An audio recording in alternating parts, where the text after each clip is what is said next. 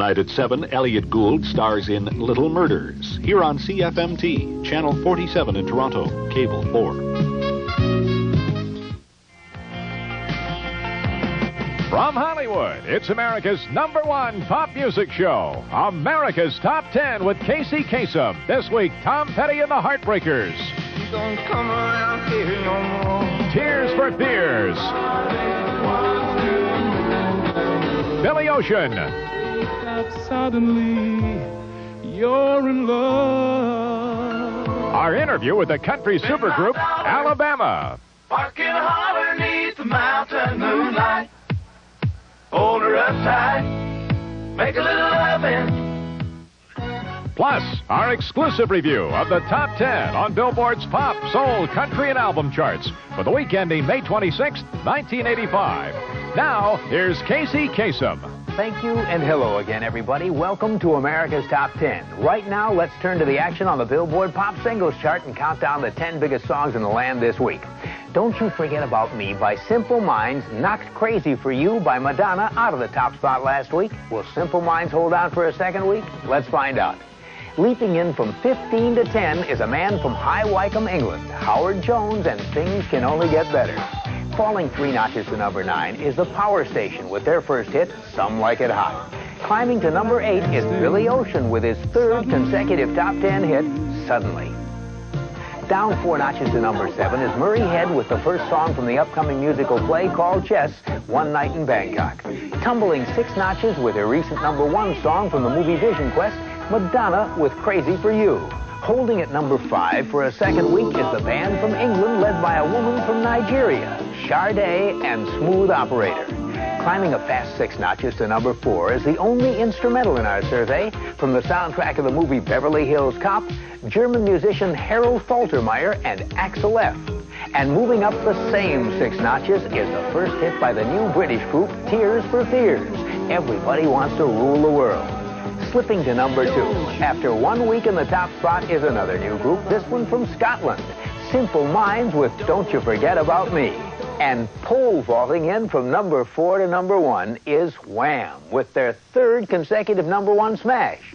Wham hits the top with Everything She Wants. For everything she wants and everything she sees, I guess I must have love. Now, our Pop Spotlight Song of the Week. You know, some artists find the names for their albums in the strangest places. Consider, for instance, the title of the album which gives us this week's Pop Spotlight. It's the first LP by the English group Tears for Fears and is titled Songs from the Big Chair. That unusual title comes from a 1976 TV movie about a woman whose extreme state of psychosis led her to taking on a number of different personalities, 16 in all. It was a movie called Sybil. And in that movie, the big chair was the only place where Sybil felt safe and comfortable. The members of Tears for Fears liked that image, and so they named their album Songs from the Big Chair. In our Pop Spotlight, here's a song from that LP. Tears for Fears with Everybody Wants to Rule the World. In our Pop Spotlight, that's Tears for Fears with Everybody Wants to Rule the World, a video directed by Nigel Dick, produced by Fusion Films. Up next in our album spotlight, the latest hit by a star who does his recording the old-fashioned way, without mixing, splicing, or editing.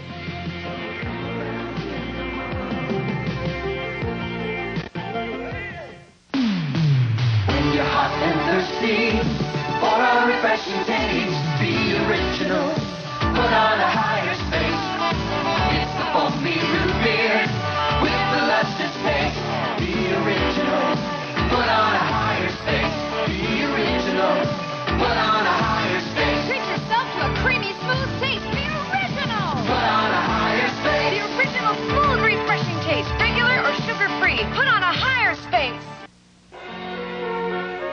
Women are choosing the cleaner, drier feeling of protection.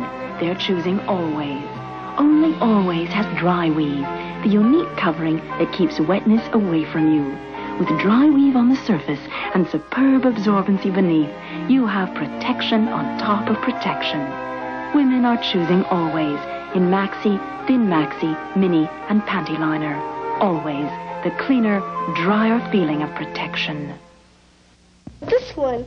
That's what kids said when we asked them which was softer, the leading dryer brand or super concentrated Downy. It's really soft. Well, softer than soft is. It feels like a teddy bear. A baby rabbit? Okay, Downy's softer, but what does it smell like? Mmm, smells like a flower. Like nice fresh grass. A spring day. April Fresh Downy controls static cling and gets clothes softer Mm. than the leading dryer brand. Downy, a noticeable difference. Feeling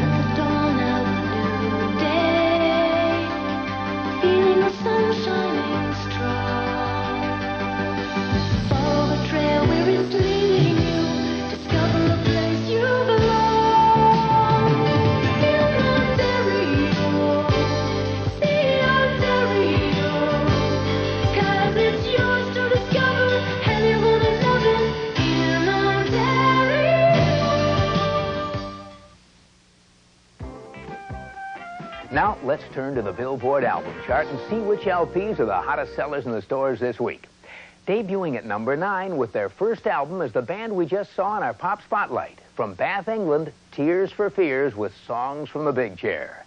And holding at number one for a second week is the album we saw in our LP Spotlight last week. Phil Collins has the most popular album in the land with no jacket required. Now, our album spotlight song of the week. It's by a man who does his recording the old fashioned way, without mixing, splicing, or editing. You know, 99% of the records today are made by recording voices and instruments on separate tracks, then mixing them all together until the sound is just right. But Tom Petty says he doesn't like to work that way. He says his songs are recorded just as they're played.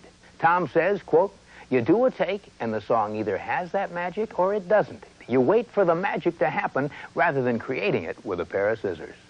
Here's Tom Petty and his band, the Heartbreakers, with a song that's full of magic. From the album Southern Accents, here's Don't Come Around Here No More.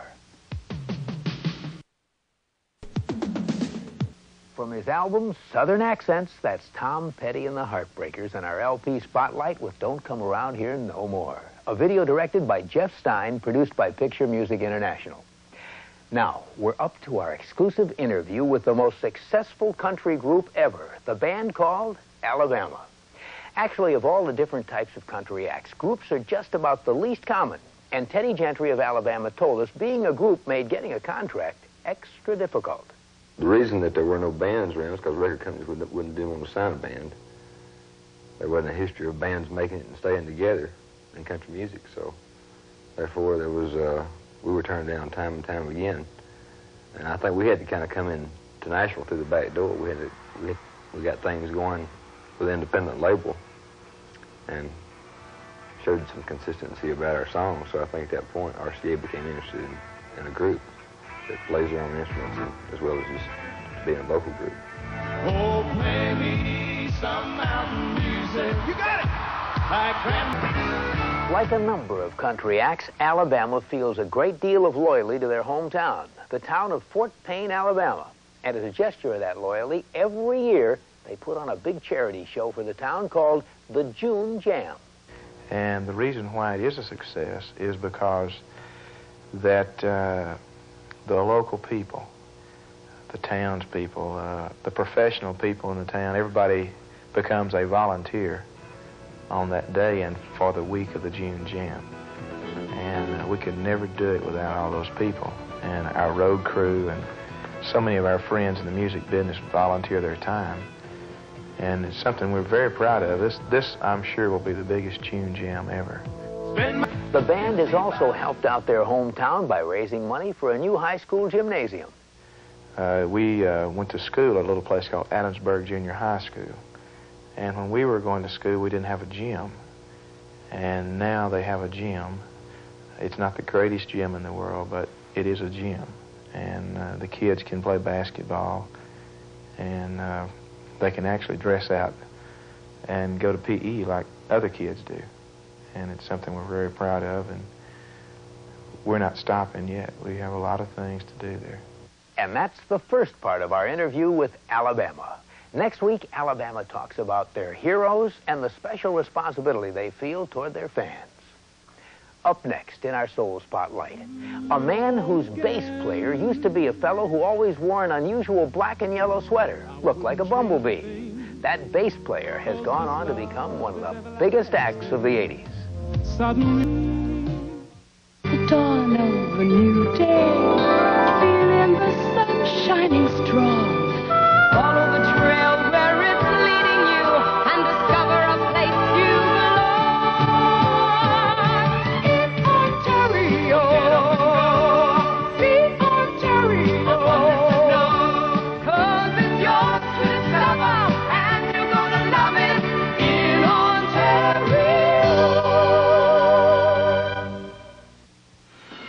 Some people have to fight rust a little harder than most of us. And that's why Tremclad isn't just Canada's number one selling rust paint. It's also why so many Canadian industrial users choose Tremclad for fighting rust. And if they trust Tremclad under conditions like these, shouldn't you trust Tremclad too? Trust Tremclad on metal.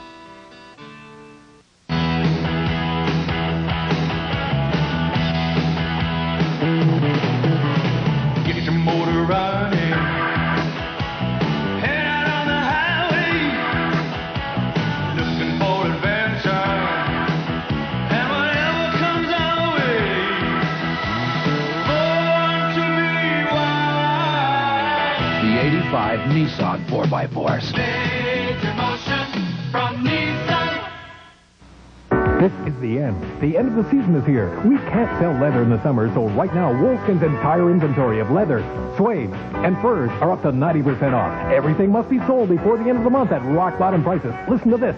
Suede jackets, $39.99. Leather pants, $59.99. Leather bike jackets, $69.99. Leather skirts, $39.99. Everything up to 90% off. This is the end. The end of the season, and everything must be sold at all Wolfskin's locations.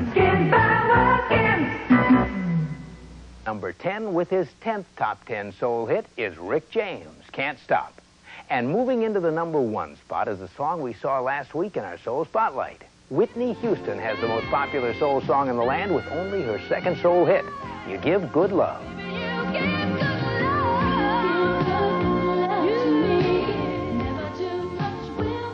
Now, our Soul Spotlight song of the week. It's by a man whose bass player went on to become one of the hottest acts of the 80s. When we recently spoke to singer Billy Ocean, we asked him if any of the many musicians who played for him over the years went off to fame and fortune on their own. Well, he told us there was one. A bass player who always wore an unusual black and yellow sweater and looked like a bumblebee. The black and yellow sweater earned him the nickname Sting, the same Sting at the center of the police.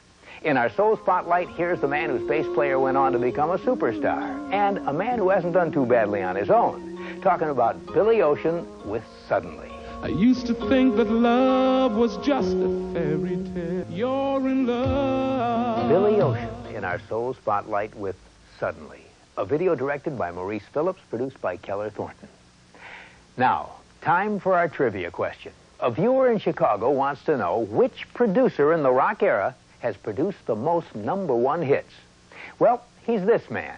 He's been responsible for a grand total of 23 number one songs. Details coming up.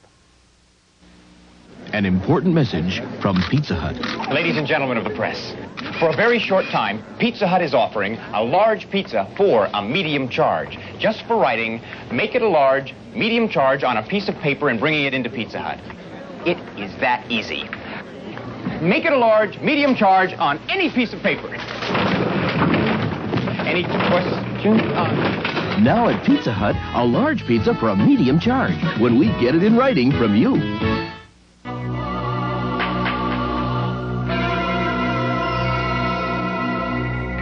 Why are so many homes mysteriously vacant?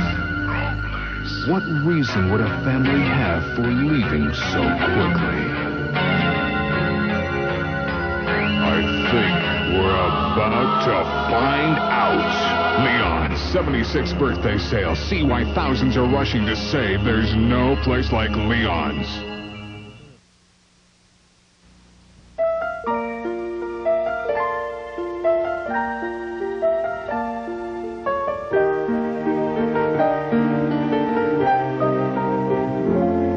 Fairy tales can come true.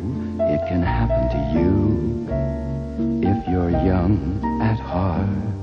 For it's hard, you will find, to be narrow of mind when you're young at heart. And if you should survive to a hundred and five, look at all you'll derive just from being alive. Here is the best part. You got a head start if you are among the very young at heart. Make a dream come true. Call Eastern Airlines or your travel agent for details. In recent years, a lot of acts have become involved with a large variety of different causes. But the Beach Boys are the first to work for the cause of seatbelt safety. The band has made a number of public service announcements promoting the wearing of seatbelts. And on their upcoming tour, they'll be supporting the cause by circulating petitions to get local legislators to pass laws requiring motorists to wear their seatbelts. Recently, New York State passed just such a law, and fatal accidents took a dramatic drop. Now, let's answer our trivia question. John Besnick of Chicago, who watches the show on Channel 9, wants to know which producer in the rock era has produced the most number one hits. Well, the man who holds that record has produced a staggering total of 23 number ones. He's a man who was known as the fifth Beatle, and he produced all 20 of the Beatles' number one songs. He also produced a number one for the group called America, for the duo of Paul McCartney and Stevie Wonder, and for the duo of Paul McCartney and Michael Jackson. He's the most successful producer ever, George Martin. There's your answer, John. Thanks for writing in. And because America's Top 10 used John's question, he'll receive a portable radio and Sun Goddess Sun Tan Body Mousse. Elite European tanning system provides a sensually different way to a golden tan. Sun Goddess by Golden Sun. And Kenwood presents personal portable audio, AM, FM stereo, radio, cassette recorder, and stereo cassette player. A set for her and a set for him. Kenwood, move with your music. And Nestle Streaks and Tips Color Glow Spray On. Shampoo out hair color that glows in the dark. Then spray Nestle Touch of Glitter for that sequin look. Well, that wraps up our show for this week. Now join me again next week for exciting performances by Murray Head, Wham, and part two of our interview with Alabama. Till then, keep your feet in the ground and keep reaching for the stars.